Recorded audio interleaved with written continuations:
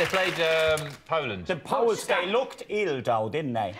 I saw that. The Polish people in general, they look fairly ill. whoever, whoever they replaced, so they always looked as if they hadn't slept for three weeks. They've had a tough time of it historically, yeah. to be honest.